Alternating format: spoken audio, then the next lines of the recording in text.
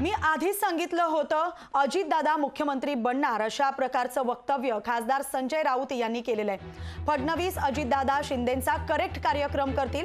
ही दोस्ती मिळून शिंदे गटाचा कार्यक्रम करतील. सगळं ठरल्याप्रमाणे स्क्रिप्टेड होईल असं संजय राऊत म्हणालेले आहेत. मैं ये कोई मैं पहला आदमी हूँ।